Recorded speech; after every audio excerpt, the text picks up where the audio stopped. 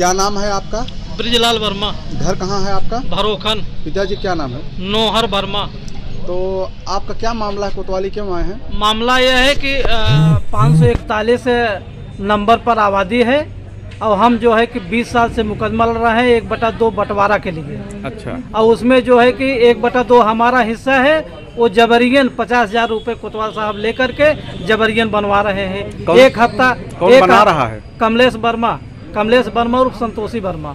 अच्छा तो कैसे कोतवाल साहब को आपने प्रार्थना पत्र नहीं दिया? प्रार्थना पत्र दिया था उनको उनको अवगत खैर सब कुछ जानते हैं लेकिन उसके बाद जो है कि ये ज़बरदस्ती बनवा रहे हैं। तो आपको इस, उसमें क्या उष्ट मिल गया? स्टे स्टे सत्रह तारीख को पेशी थी बहस हुआ है हम्म। और जो है चौबीस को फिर पेशी पड़ी है उस उस तारीख को हमें स्टे मिलेगा। अच्छा इसी बीच वो कब्जा कर लेना इसी बीच चौथे दिन ही कब्जा कर लेना चाह रहे हैं पूरा पिलर बनवा रहे हैं पूरा जो है कब्जा करके अपना तो हैं। आपका ये आरोप है कि कोतवाल के ऊपर आरोप लगा रहे हैं क्या सही बात है? जी जी बिल्कुल सही बात है तभी वो कुछ नहीं बोल रहे हैं। हमने फ़ोन करवाया बंद करवाने के लिए लेकिन वो नहीं बंद किए हैं। अभी अभी काम चल रहा है बराबर।